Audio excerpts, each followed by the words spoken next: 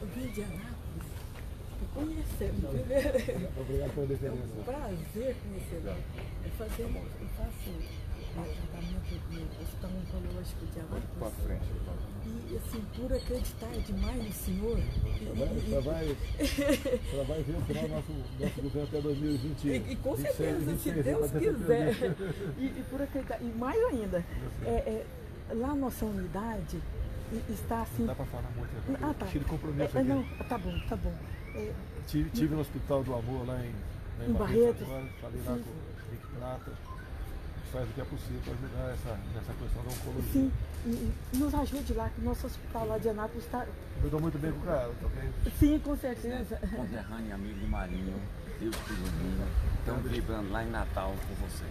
Você não me conhece. Ih, rapaz, Cantarel, o Cantarel, o Cantarel. É o Cantarel, lá. Tem fome aí do Cantarel. Presidente, Você não cuide de você de tarde aí. Não conhece sua casa ainda, rapaz.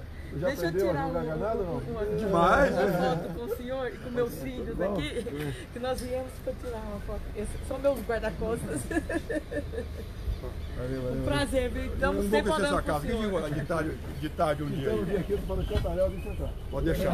Falou então. Um abraço. hein? Bom dia, pessoal. Jogo rápido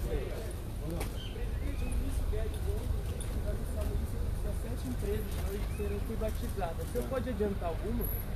Não é vão ser privatização, vão entrar no PPI para começar o processo de privatização. Começa com os Correios, o resto aí não tem de cabeça aqui. Presidente, ontem o Rodrigo Maia fez um aceno de uma possível aliança com o PSDB para as próximas eleições e para o futuro. Como o senhor vê essa aliança? Pode ser adversária do senhor? Olha eu não eu não estou pensando em eleição. Nem o ano que vem estou pensando em eleição. Boa sorte ao Rodrigo Maia, que tenha bons nomes. Então o PSDB está incorporando bons nomes agora lá. Boa sorte a eles. E nós mais precisamos é de bons políticos para mudar o destino do Brasil. O senhor acha que o PSDB foi o melhor partido para o Frota? Não vou entrar nessa bola dividida com vocês. É boa sorte ao Frota, tá certo? O PSDB tem suas razões para acolher. Presidente, ontem o governo, o governo de- perdeu ontem mais uma vez na Câmara dos Deputados a MP da questão, a derrota da MP aí da Eletrobras. Como é que o senhor enxerga mais essa derrota do governo no Congresso Nacional, no Congresso em relação Não a é derrota do governo, tá? Se a proposta é boa, pede o Brasil. O Congresso tem todo o direito de alterar qualquer proposta. certo? E essas propostas nós temos encaminhadas, as encaminhamos com o melhor propósito possível. Lamento aí, mas são poderes independentes e é o direito deles de ir nessa direção. Mas na medida que o Rodrigo Maia ganha protagonismo e anuncia uma nova aliança, não fica, um, não fica Olha parecendo só, um eu ganhei de eleições, eu ganhei eleições sozinho. O PSL, mas um partido pequeno aí que juntos não dava 15 segundos de televisão, mesmo tempo com o Enéas. A preocupação não é essa. Se eu pensar em eleições, como sempre fiz no passado, quando não pensava em reeleição, você tem sucesso. tá? A, a reeleição ou eleição é produto daquilo que você faz em concreto, e não aquilo apenas que você prega da boca para fora, discurso. Então você pode ver, não, nas eleições últimas aí, criaram o Centrão, vários partidos, onde todo mundo dizia que eu seria massacrado. Isso não aconteceu. O entendimento da população não é mais esse. Não é mais tempo de televisão, mais partidos juntos, não é isso aí. Eu acho que se você partir do micro, lá atrás, você pode ver. Rita Camargo, porque teve sucesso em várias reeleições. Ela tinha uma bandeira, o ECA.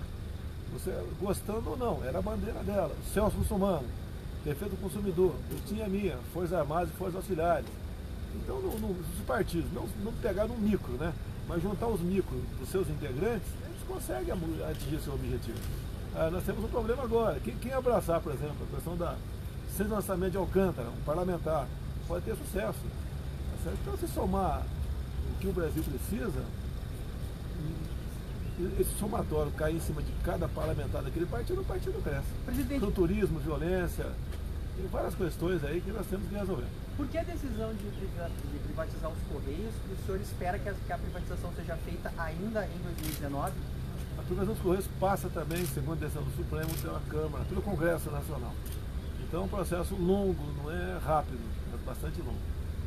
Só foi Presidente, o, o- desculpa, o governador Dória ontem falou a respeito da, numa hipótese de reforma tributária, de contra o imposto sobre movimentação financeira. o senhor já demonstrou certo, certa simpatia por uma, uma proposta nesse sentido. O senhor imagina que vai ter dificuldade de aprovar de fato uma matéria? Olha só, repetindo para você, 28 anos dentro do parlamento, não, nenhuma proposta da reforma tributária foi para frente. E a ideia da nossa equipe econômica é focar nos impostos federais. O resto, parlamento vai decidir. É igual a reforma da Previdência, ficou no primeiro patamar, né? Agora estados e municípios vão decidir as próprias. Se a entrar nessa bola dividida, buscar apenas espaço na mídia para dar a sua opinião, a gente não vai, não vai prosseguir. A equipe econômica nossa, que tem conversado, está decidida. Essas questões federais. A Câmara aprova ou não. Presidente, bom incluindo, dia. incluindo Prazer o imposto do cheque, presidente? Oi? Ne- Nessa questão federal, Não, incluindo olha o só, imposto do o que, que nós decidimos que isso aí já é uma a questão do imposto do cheque. é, quem entrar nessa linha já está pedindo para ser derrotado por antecedência. Entra em campo perdendo por 3 a 0 o jogo. Fica difícil reverter. Essa que é a intenção nossa. E vai ser feito nessa linha. Se todas as anteriormente nós, nós discutimos essa reforma, essa reforma tributária, tivesse diminuído dois, três impostos em cada discussão, Brasil estaria arrumado hoje em dia uma maratona começa com o primeiro passo, né? E isso é que queremos fazer. Presidente, o Brasil enfrenta a pior onda de incêndios na Amazônia em sete anos. O que o senhor tem a dizer a respeito? É, você realmente tem razão. É a pior onda, né? é um crime, o governo não está insensível para isso. tá? Nós temos uma guerra acontecendo no mundo contra, o- contra o Brasil, a guerra da informação. tá? É, o pessoal nosso, IBAMA e CNBio, está agindo, mas dá para você imaginar o tamanho da Amazônia. Estamos desde ontem conversando com o Ministro da Defesa e com o meio ambiente. O que, que te pode ajudar? Daí a justiça também. A justiça pode mandar 40. Olha só, acredite, 40 homens da, da Força Nacional para lá. E amanhã uma gota d'água no oceano. Forças Armadas, podemos e devemos usar talvez a partir de amanhã unidades é, ali da, da, da região, tá certo? Porque não temos como deslocado aqui para lá. Vai estar faltando comida, vai faltar comida para quartéis a partir, a partir de setembro. É a situação que nós nos encontramos. Agora, o que nos preocupa e muito, a- o crime existe, isso aí nós temos que fazer o possível para fazer que esse crime não, não, não aumente, não, não vá, vá avante, mas nós tiramos dinheiro de ONGs, repasse de fora, que 40% ia para ONGs, tá? não tem mais. Acabamos também com a questão de repasse de dinheiro de ONGs, de, órgãos públicos aqui, é, e de modo que esse pessoal está sentindo a falta do dinheiro.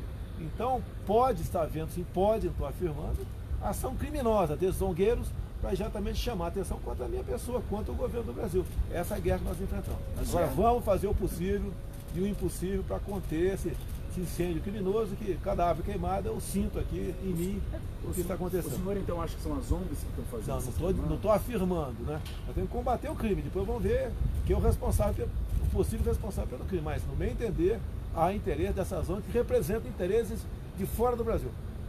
Presidente, é, o presidente do Banco Central, o Roberto Campos, ele se encontra hoje com o presidente Rodrigo Maia para discutir a autonomia do Banco Central. Qual que é a expectativa do governo em relação a essa pauta? Olha, eu já ouvi o Rodrigo Maia falar, certo, de passagem, que ele seria favorável à independência do Banco Central. Então, com toda certeza, isso vai. É um casamento perfeito.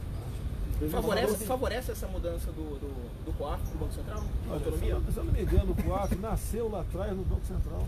Depois é que ele saiu de lá. E o pessoal que vai integrar o Banco Central não tem indicação política. Todos eles têm que ser servidores de algum lugar.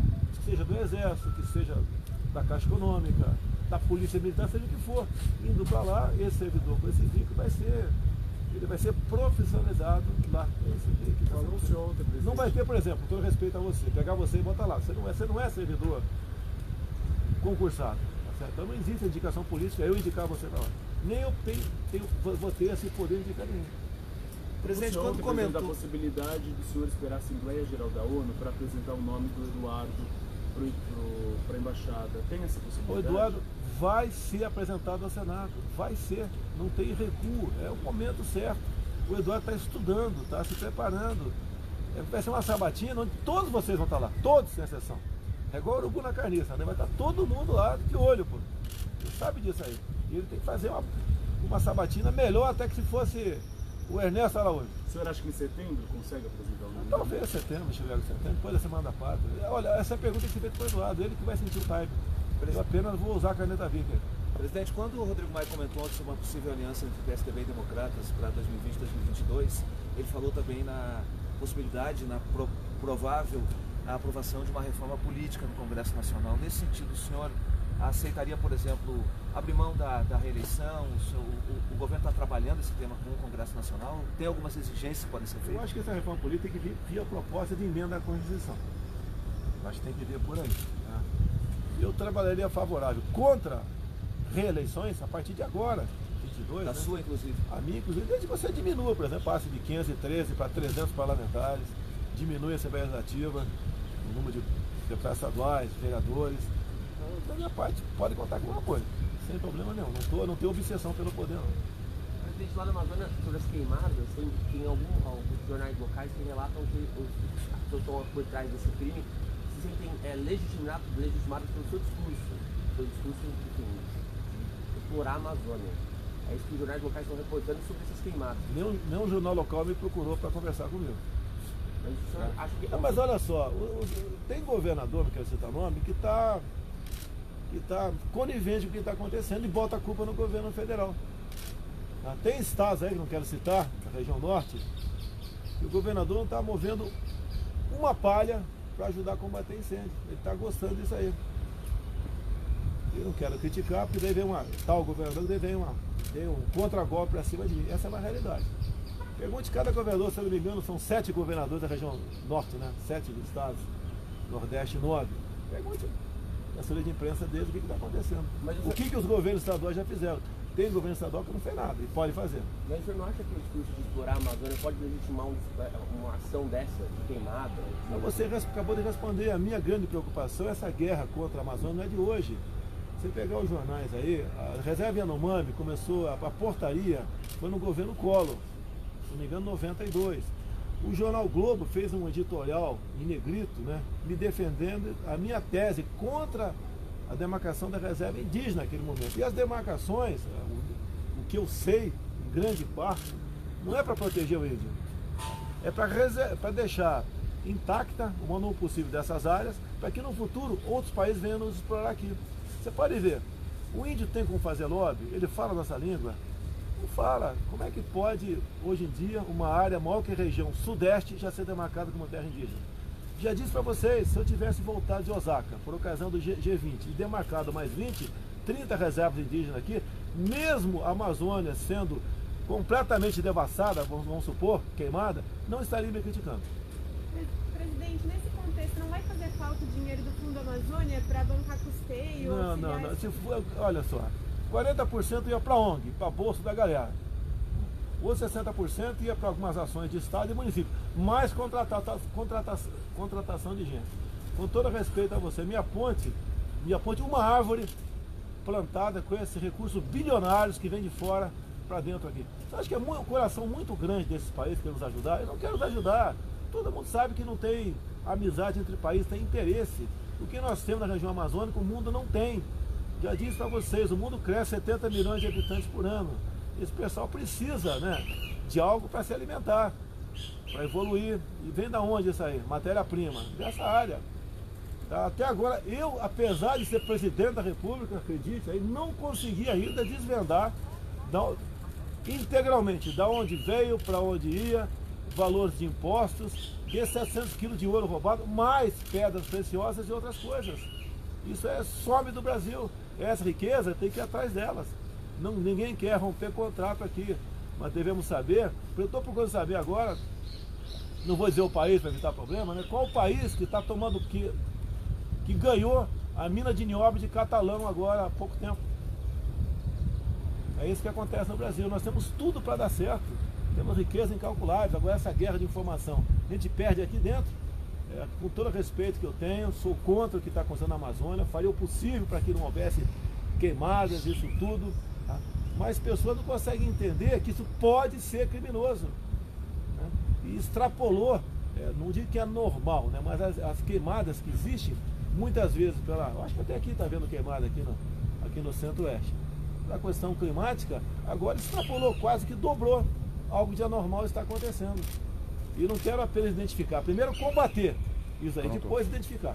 E como o senhor viu então a- a- o anúncio de que os governadores da região amazônica fariam aproximação com os países que colaboram com o Fundo Amazônia, por exemplo, com a Alemanha e com a, Olha, com a Noruega? 60% fica em ações Tá de estados e municípios.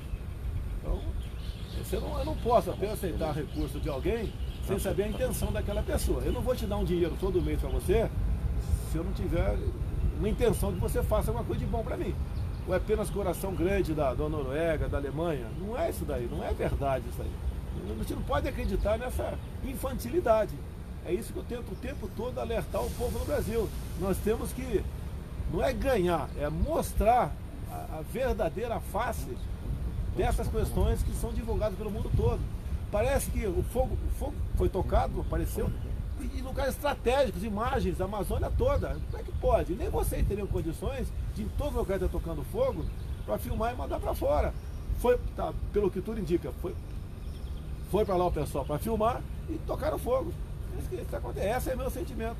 Agora devemos combater o crime, depois buscar os criminosos. Tem alguma investigação do governo que embase esse sentimento do senhor? Cara, vocês têm que entender uma coisa, que isso não está não tá escrito, está escrito, não tem um plano para isso aí. Isso é conversa, tá? Essa pessoa faz, toma a decisão e ponto final. Você pode ver, pega o que se manda, essa, essas verbas bilionárias, 40% para ONG, tá certo?